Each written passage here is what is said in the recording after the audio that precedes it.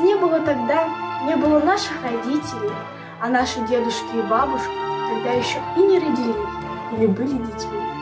Воевали родители наших дедушек и бабушек или были тружениками тыла.